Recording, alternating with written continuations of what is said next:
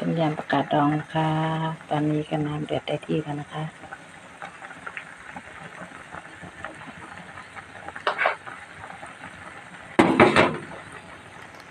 แล้วก็ใส่พริกลงไปนะคะหอมผักชี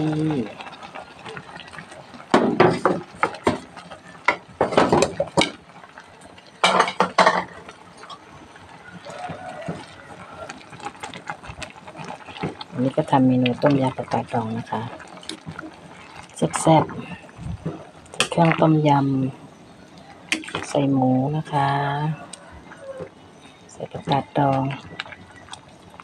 ก็ใส่พริกไปแซ่บๆหอมผักชี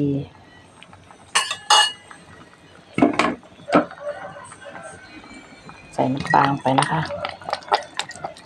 เพิ่มรสชาติเพราะว่าประกาศดองจะเปรี้ยวแล้วนะคะ ใส่ ชูรส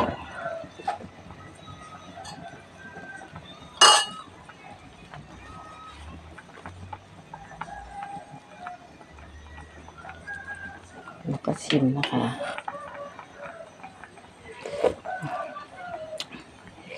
อืมแซ่บ เปรี้ยวกำลังดีนะคะเนี่ย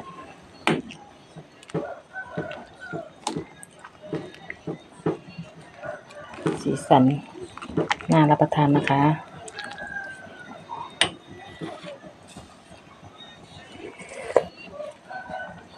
อืม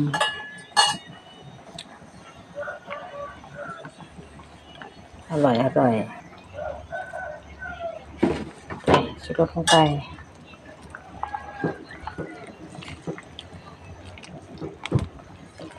อืมสีสันน่าทานมาก เห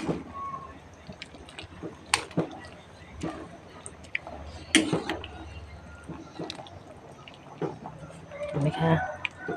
เมนูต้มยำปลากาดดอง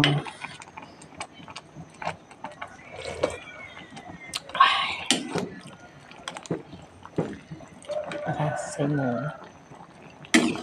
กาดดอง น่าทานมากเลย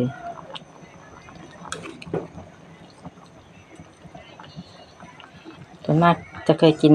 ต้มจืดปลากาดดองใช่ไหมคะ วันนี้เปลี่ยนเมนูมาทำเป็นต้มยำปลากาดดองนะคะแซ่บๆ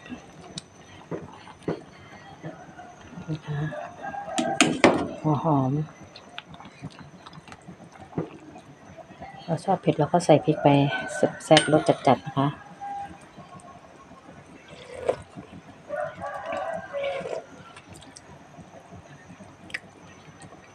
เป็นไงคะ สีทัน เดือดเดือดเคี่ยวไปนะคะ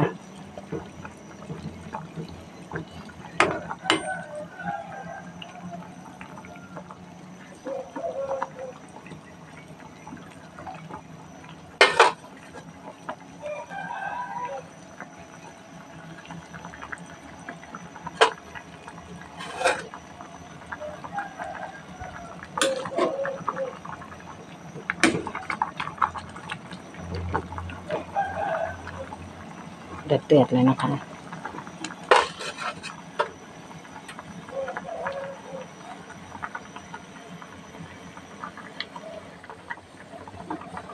จบคลิปเพียงแค่นี้กันนะคะ ฝากชมคลิปกดไลค์ให้ด้วยนะคะ เป็นกำลังใจให้ด้วยนะคะ ขอบคุณค่ะ